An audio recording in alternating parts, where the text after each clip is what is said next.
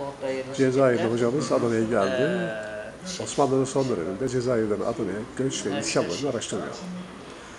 Şu anda? Osmanlı arşivinde bulduğu belgeleri bilgisayar ortamında inceliyor. Evet.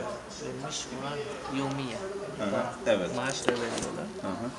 Ee, ben size vereceğim hepsi bunlar. Belgelendiriyor. Hocam hoş geldin hocam. Hoş bulduk. İyisin. Teşekkür ederim.